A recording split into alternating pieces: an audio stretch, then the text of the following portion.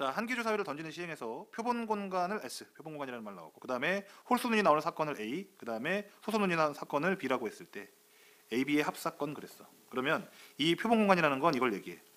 어, 사건을 사건을 어, 집합으로 표현을 했을 때, 그 집합을 했을 때, 그 모든 일어날 수 있는 모든 사건들을 어, 포함하는 가장 큰 집합을 표본 공간이라고 불러. 전체 집합이라고 보면 되는 거지. 오케이? 자, 그래서 어, 이 합사건이라고 하는 건 합사건이라고 하는 건 사건 A와 사건 B를 집합에서 관점에서 보면 아주 쉽게 합집합 이렇게 구하면 돼. 그리고 곱사건이라고 하는 건 두 개를 곱하라는 게 아니라 교집합을 의미하는 거야. 알겠지? 근데 왜 곱이라는 말을 쓰냐? 나중에 확률 구할 때는 곱하거든 그거를. 오케이? 자, 그럼 이제 합사건부터 보하면은 주사위 한 개 던지는 거는 1, 2, 3, 4, 5, 6 각각이 있지.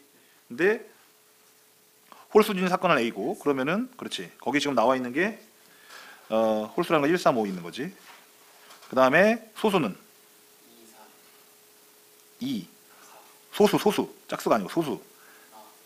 약수가 그렇지. 자기하고 1하고 자기 자신밖에 없는 건 2하고 5 이렇게 두 개밖에 없는 거지. 합사건이라는 건 얘랑 얘를 어떻게 하라고? 합집합하란 얘기야. 그러면은 1, 2, 3, 5 이렇게 되는 거지. 자, 두 사건 A, B의 곱사건이다. 그러면 그거의 교집합을 얘기하는 거거든. 이 녀석하고 이 녀석의 교집합. 그러면 5밖에 없는 거지. 이렇게 쓰고 그냥 끝이야.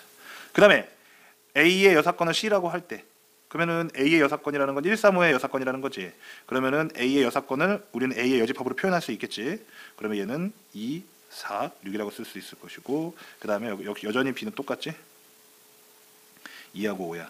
근데 곱사건 원소에게 쓰다 그럼 교집합을 하라는 얘기지. 그럼 이 두 개의 교집합은 당연히 2밖에 안 나오지. 원소 개수를 쓰라고 했기 때문에 이렇게 되는 거지. 이렇게. 그래서 그냥 1이지 그냥.